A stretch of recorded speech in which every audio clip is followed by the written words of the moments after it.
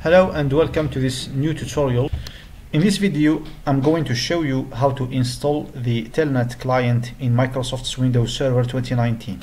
By default the Telnet client in Windows uh, operating systems is disabled but you might need to enable it because it is a very useful tool that can be used for testing uh, TCP connectivity to external hosts on uh, a specified port. There are various ways with which you can enable the Telnet client, for example using the command prompt or uh, PowerShell commands. But in this tutorial I'm going to show you how to enable it using the, the graphical user interface. So the first thing you need to do to enable the Telnet client is open the server manager. As you can see here I have it open already. Then from the server manager click on add roles and features.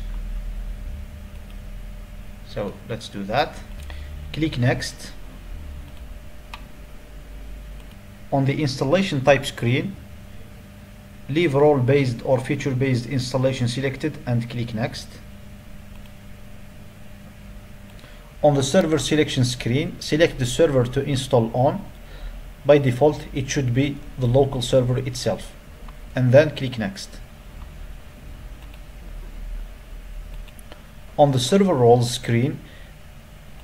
Click next because we because we are installing a feature rather than a role so don't select anything here. On the features screen tick the checkbox next to telnet client. So let's find telnet client. It should be sorted by uh, in alphabetical order.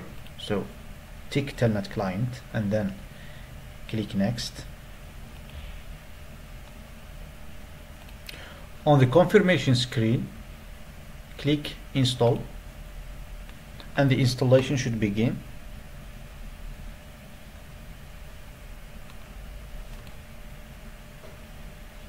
It's going to take probably a few minutes to install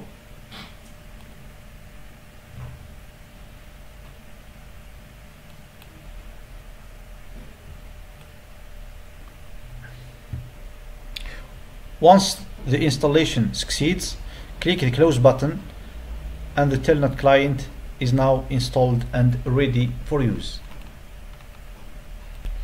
If you want to verify that the uh, Telnet client is enabled, simply open a command prompt or a PowerShell, PowerShell command. So if you open a command prompt, for example, and type telnet, telnet you should get something like this Microsoft Telnet. So this means that the Telnet client is enabled.